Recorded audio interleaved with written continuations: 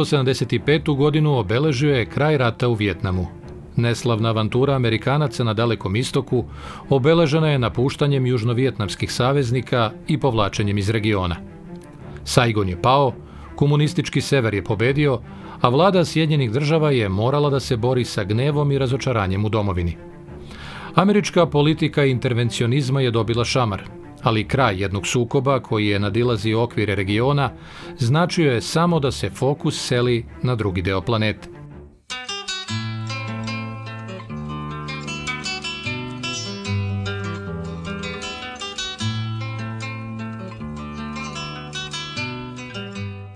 Jedna mala zemlja sa velikom ambicijom da utiče na tokove moderne istorije i na svaki način promoviše ideologiju za koju je verovala da donosi prosperitet čovečanstvu, iskoristila je moment da snažnije kroči na planetarni teatar. U Africi mira nema. Talas pobuna i rušenje arhitekture kolonijalizma u centar zbivanja trenutno stavljaju Angolu. Koalicija pobunjenika se oslobodila portugalskog jarma, ali vlada nije dugo trajala.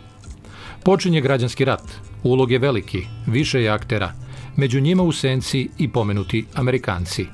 Kao i Karibska zemlja, dokazano tvrd orah za Jenkije. Kuba Fidela Castra se angažovala u Africi na osnovu dogovora sa vrhom Sovjetskog saveza od 1975. i po želji Agostinja Neta, prvog predsjednika Angole, osnivača marksističkog narodnog pokreta za oslobođenje. Rivalska unita Jonasa Savimbija ima naklonost Amerikanaca i konkretnu podršku tvrđave apartheida Republike Južne Afrike.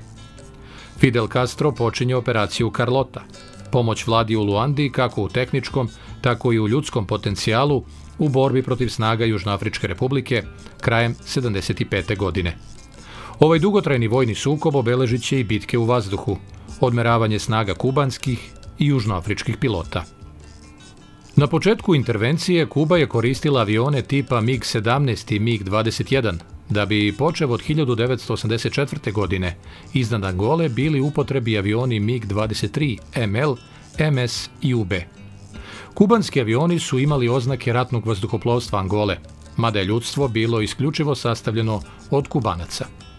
Protiv južnoafričkih aviona Mirage F-1C3 Kubanci su slali avione MiG-23 ML. Angolski i kubanski lovci MiG-23 bili su naoruženi raketama vazduh-vazduh tipa R-24R i R-60MK.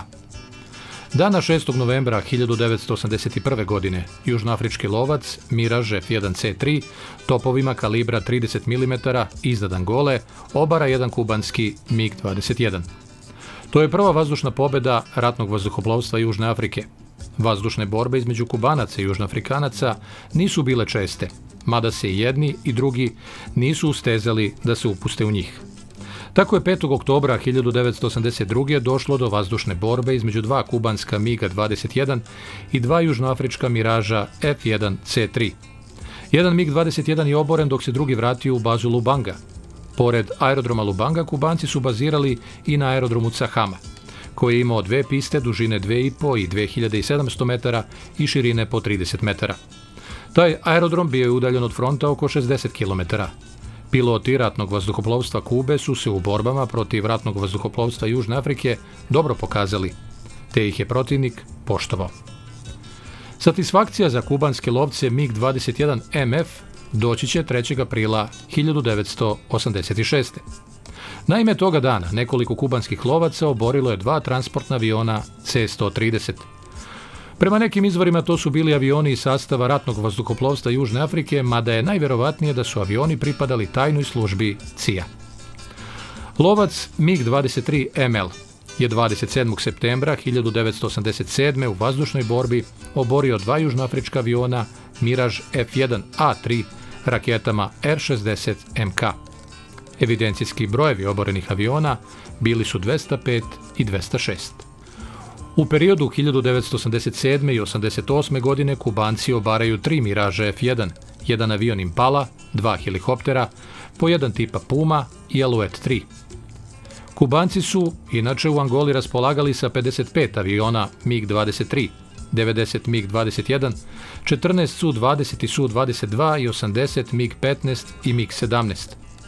Ratno vazduhoplovstvo Rivalske Južnoafričke republike imalo je u svom inventaru 34 aviona Mirage F1, 55 Mirage 3, 214 Impala, 8 Kambera i 6 jurišnika Bakenir.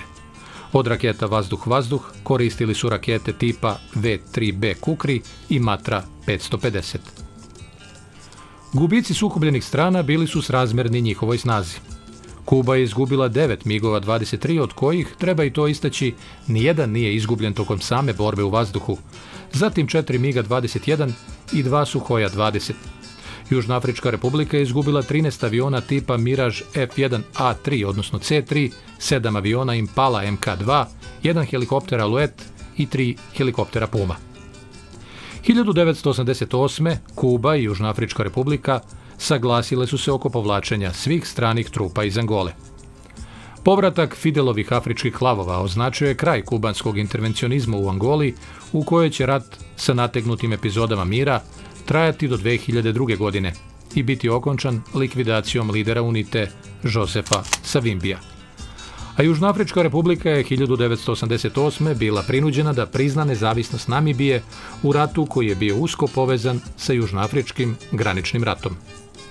Zvanični poraz politika apartheida doživeće šest godina kasnije, kada progonjeni revolucionar Nelson Mandela postaje prvi crni predsjednik Južnoafričke republike.